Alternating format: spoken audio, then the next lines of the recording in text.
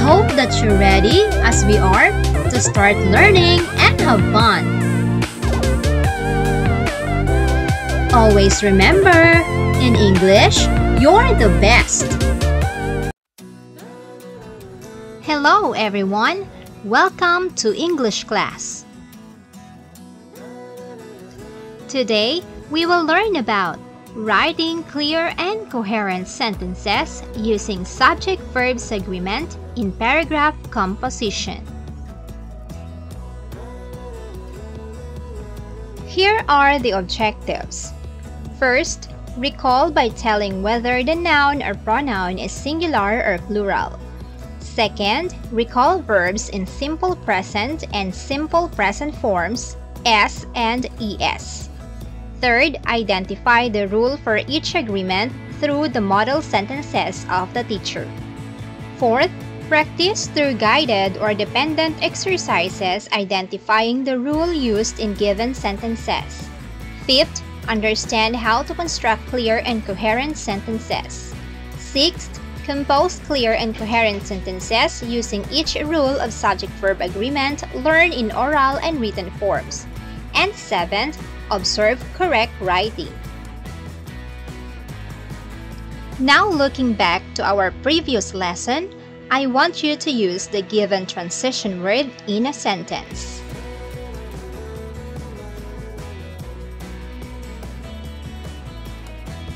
The basic rule of subject-verb agreement simply teaches you to always make your subject and verb agree with each other in number, singular or plural. You will learn how to compose clear and coherent sentences using each rule of subject-verb agreement. It is a prerequisite that the subject, noun or pronoun must be understood carefully as singular or plural so that the verb will also follow its simple present and simple present S or ES form of the verb. Subject and verbs must agree in number. The following are the rules. Number 1. If the subject is singular, the verb must be singular too.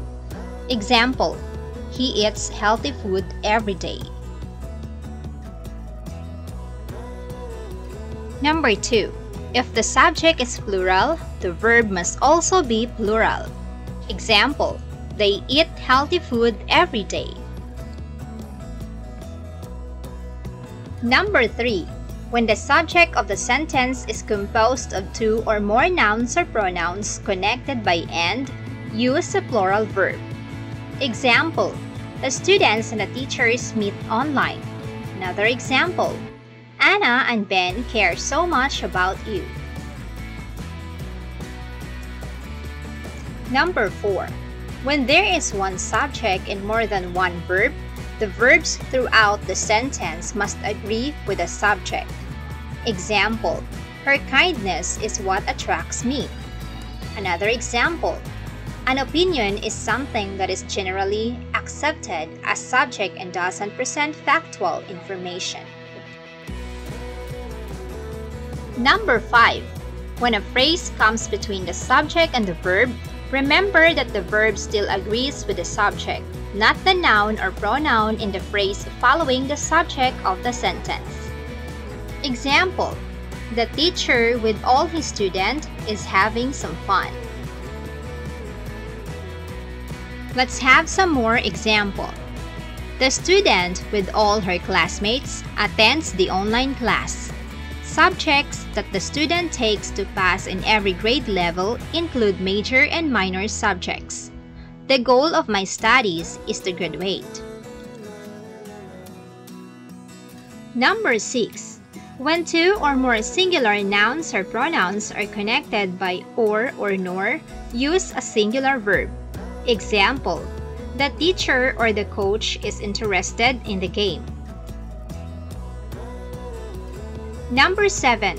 When a compound subject contains both a singular and a plural noun or pronoun joined by or or nor, the verb should agree with the part of the subject that is closest to the verb.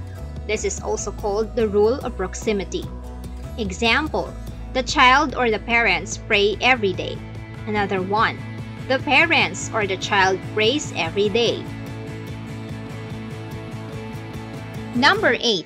The words and phrases each, each one, either, neither, everyone, everybody, anyone, anybody, nobody, somebody, someone, and no one are singular and require a singular verb. Example Each of the presenters is willing to be critiqued. Some more example Everyone is invited to the party. I will provide all the needs to everybody who loves to study well. No one is allowed to party all night. Number 9. Non-count nouns take a singular verb. Examples Patience is a virtue. Love cures many heartaches. The information obtained from the presenters is relevant to include in the study. The research I shared on the topic is informative. Number 10. Some countable nouns in English such as earnings, goods, odds, surroundings, proceeds, contents, and valuables only have a plural form and take a plural verb. Example, the goods for this week cater to hundreds of families. Here are another examples. The contents of the book provide enough information. The surroundings have enough space to live.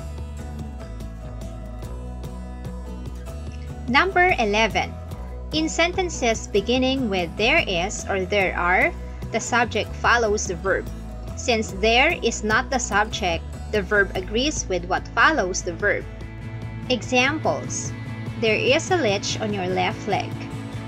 There are chocolate bar, piece of cake, and other confections in the refrigerator.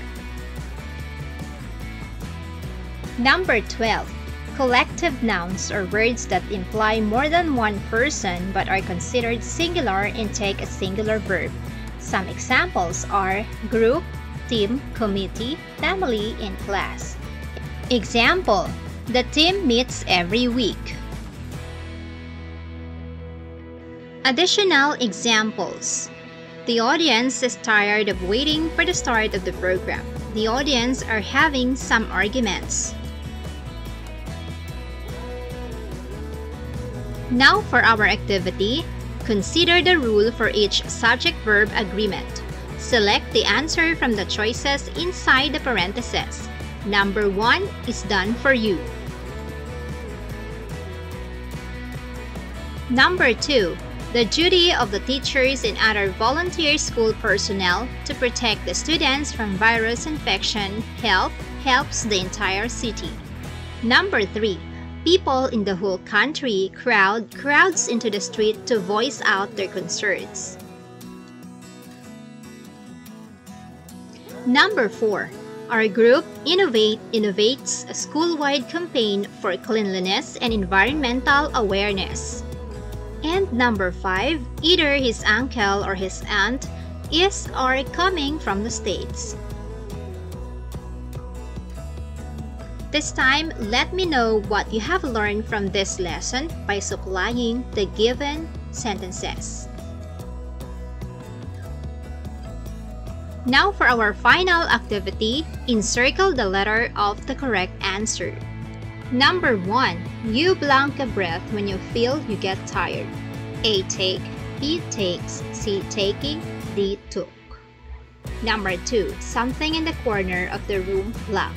A moves, B move, C moving, D moved. Number 3.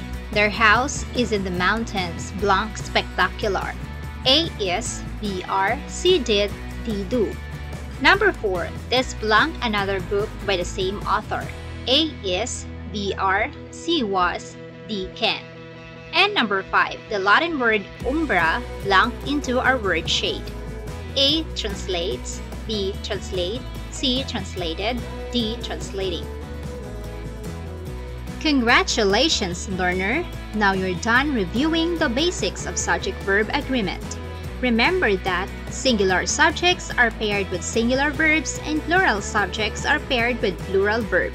For sentences with linking verbs, the verb should always agree with the subject and not the predicate nominative. Thank you for joining today's class. I hope that you learned something from our discussion. Until next time, bye!